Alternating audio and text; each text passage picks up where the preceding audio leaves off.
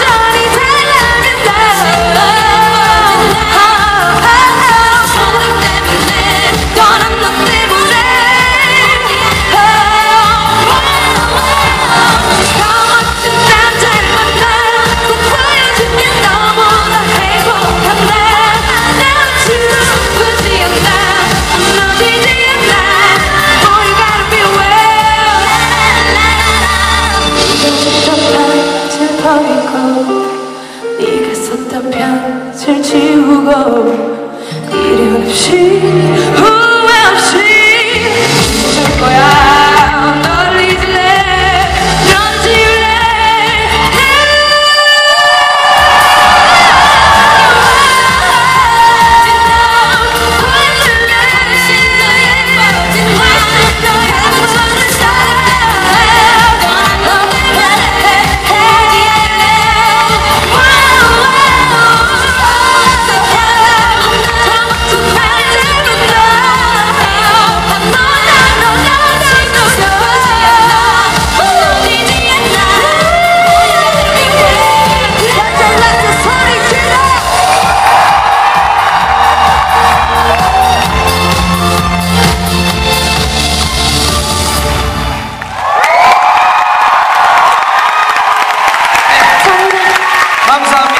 예니 씨에게 다시 한번 큰 박수 부탁드리겠습니다.